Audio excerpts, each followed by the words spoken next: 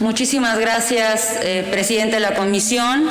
Eh, muy bienvenida sea la directora del ICUM, secretaria del ICUM, directora, no, recuerdo bien. No, directora, directora. Directora. Estás bien, ah, ok, perfecto. Entonces no me equivoqué, no soy, no, no, está bien. no soy tan perdida.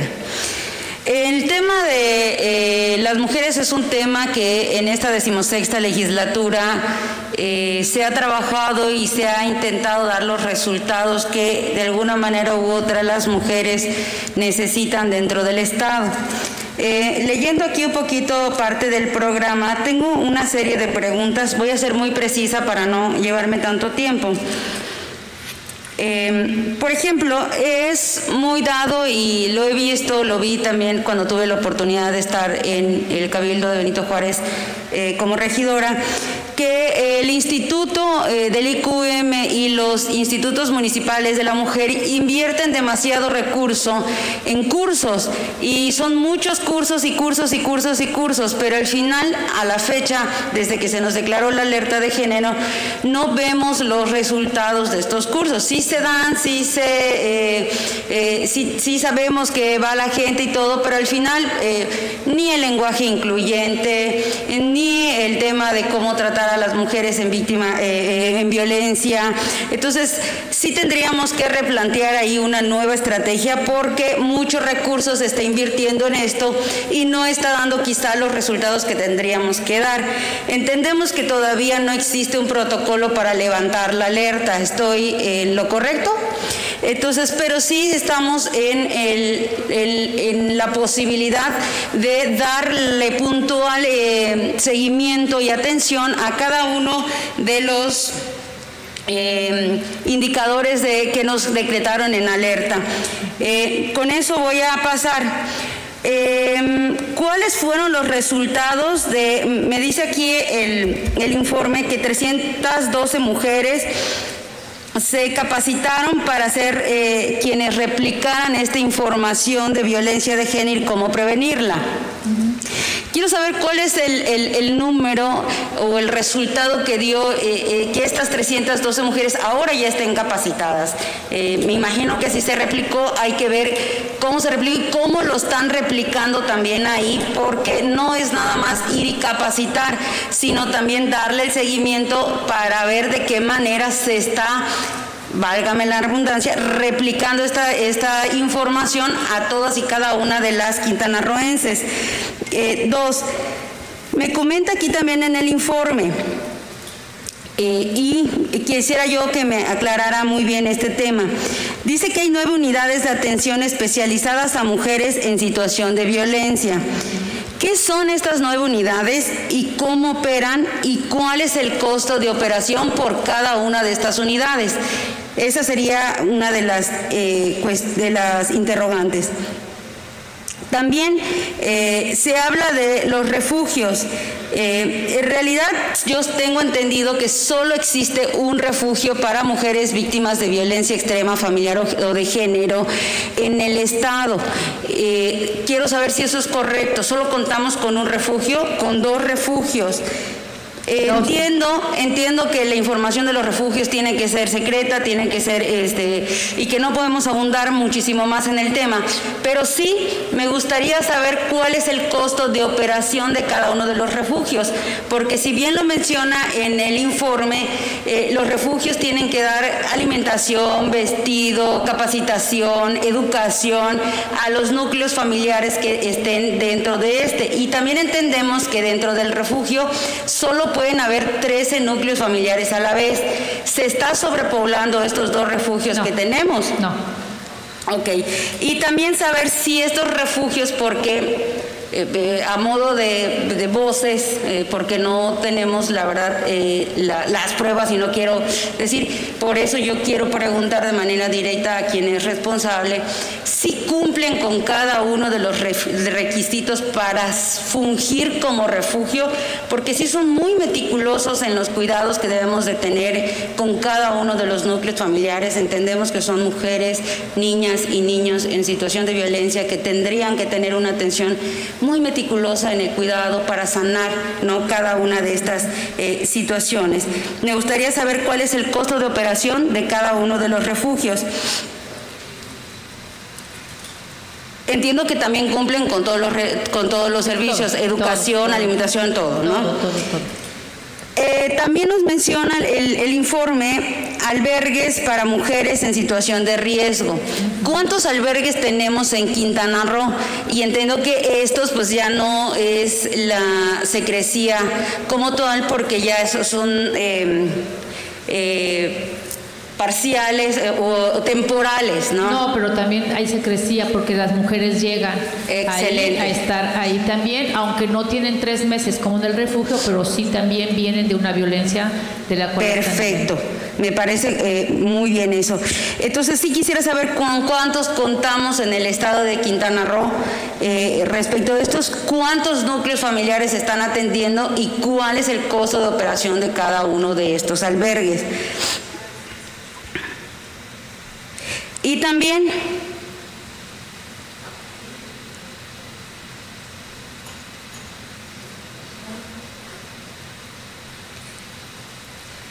en cada uno de los indicadores que nos dieron respecto a lo de la alerta de género, eh, hay una serie de em, resultados que tenemos que dar. El, el, año pasado nos dieron un informe muy similar al que tenemos el día de hoy. Entonces, el costo de operación de cada uno de estos eh, indicadores o dar atención a estos indicadores, me gustaría saber cuál es el costo de operación toda vez que se supone debería existir una colaboración con los municipios que así tienen decretada esta alerta de género. Este, no hay esta coordinación. Sí hay la coordinación, pero no de dinero no, no hay nada. ahorita te voy a te voy a ir contestando todo lo que me estás comentando. Este, pero en este caso, por ejemplo, que me, que me comentas de la alerta, nosotros llevamos únicamente los indicadores que tuviste ahí, son los que nosotros como instituto llevamos. O sea, no, nosotros no los estamos compartiendo con nadie porque cada institución y cada secretaría y cada dirección tiene sus propios indicadores, que, tienen que corregir. en este caso, nosotros presentamos lo que les corresponde al IQM. Esos son los que nosotros, y estamos hablando del 20 de, de, junio a la fecha, ¿no? Del 2019 más bien. Entonces, este, esa es una. Eh, bueno, perdón, no sé si no. no. no, este, ¿quieres que te vaya contestando mientras me dicen los demás o, me espero mejor a todos? Como tú digas, al final las voy a preguntar. Ya tenemos ese. Este... Muy bien, mientras te pasan la información. También es muy importante y quisiera comentarlo aquí con la venia de la presidenta de la comisión. Estamos trabajando nosotros una iniciativa porque a su momento también lo comentábamos con el diputado Arcila, el tema de que es importante que cada municipio de Benito Juárez, eh, digo de el estado de, Quintana Roo cuente con un refugio para mujeres.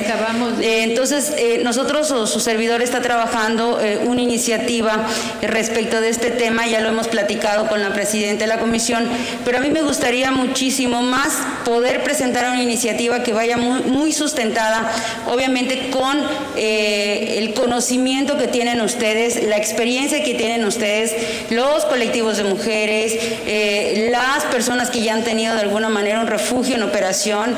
Lo hicimos durante eh, la gestión eh, de su servidora como regidora. Desgraciadamente la falta de voluntad política, que además creo que es lo que nos ha limitado a nosotros en Quintana Roo a poder tener refugios para mujeres y dar esos resultados a las mujeres que tenemos que dar, ¿no? Esa falta de voluntad política, porque en el estudio que nosotros hicimos dentro, del, dentro eh, de la regiduría, nos dimos cuenta que levantar un refugio es, no es de ah, te vas a gastar eh, los recursos vidos y por haber, pero además la federación también tiene mucho recurso destinado a este tema y yo creo que con una buena voluntad política por parte de los ayuntamientos, por parte del gobierno del estado, por parte del gobierno federal y obviamente nosotros impulsándolos aquí a través de, del Congreso del Estado, podamos generar esta iniciativa que vaya muy sustentada, invito a mis compañeros diputados a firmarla para que vaya muy sustentada y que los refugios ahora sean una realidad.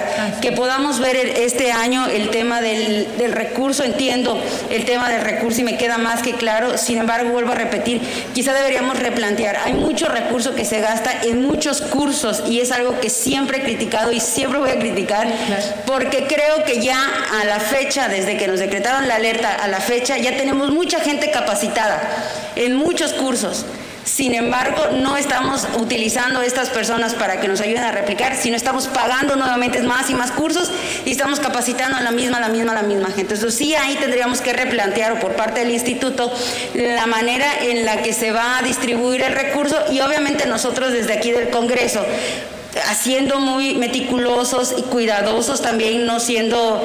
Eh, nada más eh, por la fiesta, por la llamarada, eh, siendo muy cuidadosos del presupuesto, entendemos que estamos en pandemia, entendemos lo que este va a ser un año muy complicado, pero es muy importante que las mujeres de Quintana Roo puedan sentir esta seguridad y puedan sentir que el gobierno, que sus diputados, sus presidentes municipales, regidores, su gobernador, eh, sus secretarios de, de, Estado van a estar velando ¿no? por esta seguridad y que van a tener un lugar, sobre todo, a donde poder acudir en caso de estar viviendo una, una situación de violencia extrema. Es cuanto. Muchas gracias. Mira, eh, diputada, eh, tienes mucha razón. El de los cursos de capacitación que damos, hoy lo comentábamos con la diputada y con el presidente eh, de la JUCOPO, precisamente de los, de los cursos. Hemos dado muchísimos cursos, muchísimos cursos, y no vemos resultados. Tienes toda la razón. ¿Qué necesitamos? Ir y supervisar bueno, muchas veces renuncian y se van. O sea, la gente que capacitamos ya no está. ¿no? Ya salió, ya se fue, entonces es como volver nuevamente. Pero los que se quedan no implementan. No implementan. Lo que tenemos es eso, que supervisar, que a ver, lo que, que aprendiste, eh, eh, lo estás implementando, lo estás haciendo. ¿Dónde está esa capacitación que te dimos para que tú lo puedas implementar? Entonces sí, sí es muy importante que empecemos a hacer, no sé, con ahorita con ustedes, con las asociaciones, con todo el mundo, ir a ver, a ver, el instituto ha capacitado en esto. A ver, vamos a ver los resultados. ¿No? Vamos a supervisar si estos grupos de personas que lo tomaron están implementando lo que, de, lo que, de acuerdo a la capacitación que se les dio. Eso también lo platicábamos hoy y que creo que es muy importante empezar a hacer esa supervisión ¿no? de esos cursos. Los cursos son importantes, capacitar es importante, es parte del conocimiento, pero si no lo aplicas, pero ¿cuántos recursos se nos fue, por ejemplo, este año en cursos? O sea, porque sí sería importante tener ese dato para que nosotros podamos emplear en el nuevo presupuesto ya una estrategia basada en menos cursos, pero más eh, en optimizar el recurso del IQM en dar resultados a las mujeres, que estos refugios, estos albergues tengan los servicios que tienen que tener. Este año, por ejemplo, no tuvimos ningún recurso para funcionariado público, no hubo presupuesto para eso. Y Mujeres es quien nos da, no nos da el gobierno del Estado para dar los cursos, ¿eh? es viene a través de programas de Mujeres de Transversalidad de la Perspectiva de Género. Eh, ellos son quien por primera vez ya no hay cursos para capacitación para funcionariado público. Ahora es a población abierta. Ahora estuvo magnífico. Entonces, este año cero para, para cursos. En lo que tú me dices de esas 312 12 mujeres, en que estas mujeres replica, no son mujeres que estén multiplicadoras, que estén dentro del, del instituto, son mujeres de las colonias que ellos nos ayudan a replicar lo que nosotros les damos en sus comités vecinales, en sus cuadras, en sus colonias. A eso nos, nos, referimos a que las replicamos, las trajimos, las capacitamos para decirles nuevas eh, acciones que estamos viendo para que ellas sean nuestras replicadoras en sus comunidades y en sus colonias. En las unidades de atención que, me, que, te refieres son esas del PAIMEF, que son las que te digo que están dos en, Solidar, dos en Cancún, una fija, una itinerante, otra que está en Cozumel, otra que está en Tulum, otra que está en Solidaridad, otra en Lázaro Cárdenas, otra en, en José María Morelos, otra en Carrillo Puerto, otra en Tulum y ¿Qué más se me olvida? A ver, este, en todos los municipios, menos, ver, para ser más nada más nos falta. Eh, eh, Otón, o digo, este, Bacalar, Isla Mujeres y Puerto Morelos. Esos son los únicos tres lugares que no tenemos unidades que tú me preguntas. ¿Cuánto cuestan? Estas unidades tampoco las paga el Estado. Estas unidades es el presupuesto que nos manda PAIMEF, donde nosotros tenemos que contratar a 50 profesionistas para estas unidades. Cada unidad debe de tener un psicólogo, una abogada y una trabajadora social. No, no, no, no, sí, aquí, aquí, aquí creo que ya me mandaron el, el, el dato. Es que no lo tengo a la mano el dato, pero del albergue es un millón de pesos. ¿Cuánto? Un millón. ¿Mensual? No, lo que tenemos, lo que nos dan. O sea, ¿tú quieres saber cuánto gasta exactamente? Sí, Este es el presupuesto que tenemos. Yo, ah, yo pensé que el presupuesto que tenemos, pero a ver, Memo, por favor, a ver si me mandan ese dato porque este no lo tengo a la mano o te lo mando porque no lo tengo así que yo lo tenga a la mano ahorita. La idea, la idea es eh, para que nos pueda apoyar, claro. Exactamente, para que nosotros podamos llegar ahora que vamos a hacer análisis de presupuesto, si bien esto no lo pagamos nosotros, ver cómo de alguna manera podemos dar estos resultados y optimizar, vuelvo a repetir, eh, eh, y entiendo que tenemos que ser muy meticulosos y muy cuidadosos porque estamos en un tema de pandemia. Sin embargo, este, sí es muy importante para mí y creo que para todas las diputadas. Pero ya este lo dije, es que lo dije, nomás que acabas, ahorita que llegaste, ya, ya lo tengo aquí. Este, eh, la total de inversión federal ejercida de estos del PAIMEF que tú me dices son 18 millones 977.3 313.74. ¿Cómo, se, cómo se, se, distribuye? Te lo voy a mandar, aquí lo tengo, te lo voy a pasar para que lo tengas. ¿Cómo va por cada capítulo? Que, que todo este dinero se nos va más bien en el pago de las, de las profesionistas.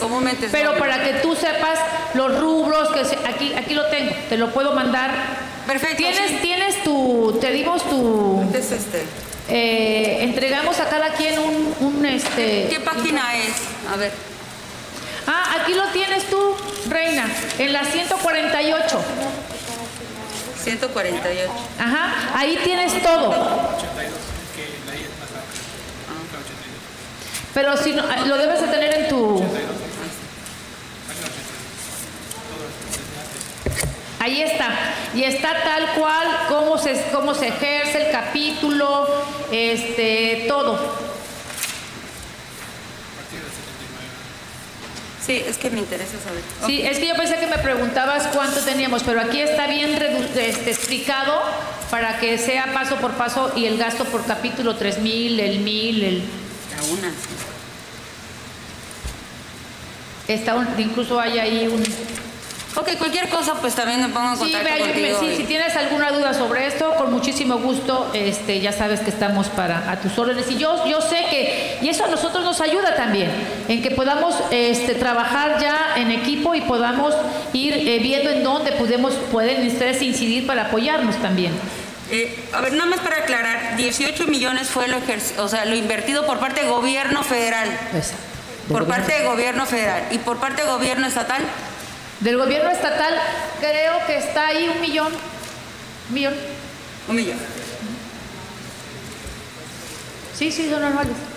Entonces, sí me gustaría terminar recalcando que por parte del gobierno federal existe este compromiso con las mujeres este, para dar seguimiento ¿no? en atención a este Claro, y, y, a mí me preocupan los recortes que se están haciendo, muchísimo a nivel federal, porque prácticamente nuestros programas son de, recurso federal. Los dos programas que tenemos de transversalización de la perspectiva de género y del, del PAIMEF, que son para las atenciones de esas unidades, es de recurso federal. Y ahorita lo que comentábamos, ojalá que en esos recortes que hubo, PAIMEF es como, ha sido como un programa tan este, eh, conocido y querido y, y, que realmente lo han evaluado como un gran proyecto, no le han recortado hasta ahorita ningún 5 sigue igual. E incluso yo vino la, directora de, bueno, federal de, de, Indesol, estuvo aquí hace tres días en Tulum y estuvimos platicando precisamente de las necesidades que tenemos de los albergues, por, digo de los refugios, porque ahora, ya antes lo veía salud. Los, albergues, los, refugios los veíamos a través de salud, del presupuesto. Ahora lo vemos con ellos, con Indesol. Entonces yo le decía, pues que si era posible otro refugio, que, que, nos ayudaran con otro refugio.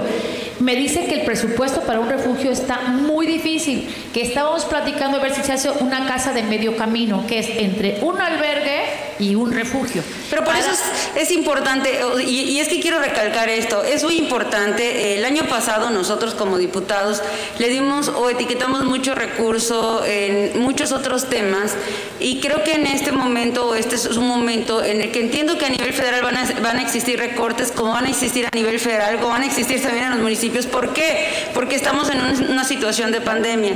Sin embargo, si aprendemos a optimizar los recursos, ahí es donde nosotros como gobierno del Estado, y, me queda clarísimo de alguna manera u otra que el gobernador del Estado de Quintana Roo está comprometido con las mujeres. Seguro estoy que cuando le hagamos llegar esta propuesta también este, lo, lo va a aprobar, ¿no? Entonces, lo importante es que nosotros a través de este Congreso, que al final terminamos aprobando un presupuesto, podamos tener la información necesaria para poder optimizar los recursos y poder dar resultados a las mujeres.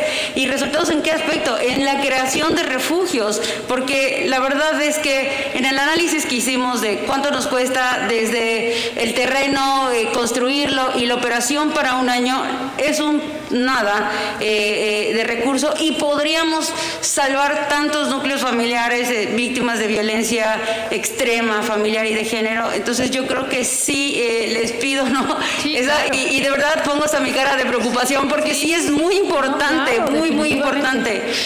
Después de que eres víctima de violencia de género, entiendes que debes de prestar mayor atención a estos temas y debes prestar mayor sensibilidad a la realización de estas situaciones, porque hasta que no vives una situación de violencia, simple y sencillamente te vale este, y no haces nada por las mujeres, ¿no? Una vez que vives estas situaciones de violencia, entiendes y comprendes que debes de ser muy meticulosa en el estudio y en la realización de estas cosas. Entonces, en lo personal, sí prestaré mucha atención, tanto en la iniciativa, donde pediré la colaboración de la presidenta de la comisión y eh, por parte tuya también, directora, generar mesas de trabajo para que la iniciativa venga bien sustentada y bien fortalecida para las mujeres. Claro. Y dos, este, también, ¿no? Que existe esta, esta coordinación para poder nosotras, eh, o a través de la comisión, si así lo decide la presidenta, poder impulsar un recurso más óptimo para el instituto. No, desde luego, estoy totalmente de acuerdo contigo. Y cuando quieras, para mí más que nada me interesa que nos podamos reunir para trabajar sobre esto. Totalmente de acuerdo, claro que sí. Con mucho gusto. Mira, me pasaron, por ejemplo, las unidades de Tulum, es 415 mil pesos. Solidaridad, 447 mil Cozumel 410, Felipe Carrillo Berto 422.800, José María Morelos 417, Lázaro Cárdenas 414.500, Otompe Blanco 1.479.800. Entonces aquí ya está un poco más desglosado, pero aquí en este lo vas a tener perfecto porque está realmente así bien detallado, precisamente para que ustedes vieran cómo se gasta ese dinero y que la mayor cantidad de dinero se va al pago de sueldos que al final de cuentas es uno de, las, eh, de, los cuestionamientos que más nos hacen los, los ciudadanos una vez que regresamos a nuestros distritos. Oye, ¿en qué se está gastando el dinero? Es importante que podamos levantar la voz y que se pueda dar esta explicación tal cual lo estás haciendo para que cualquier malentendido este, quede aclarado, ¿no? Y que nosotros veamos, ah, bueno, entonces estamos gastando mucho en esto, vamos, vuelvo a repetir, vamos a optimizar y vamos a dar esos resultados que las y los ciudadanos requieren. Claro, y además estamos en transparencia, ¿eh? Todo, todo lo que estemos, inmediatamente lo subimos para si alguien tiene una duda o algo, pueden ahí checar también. Pero no, aquí podemos platicar y podemos comentar y reunirnos precisamente para trabajar sobre los presupuestos. Muchas gracias. Me encanta la idea, no, gracias a ti.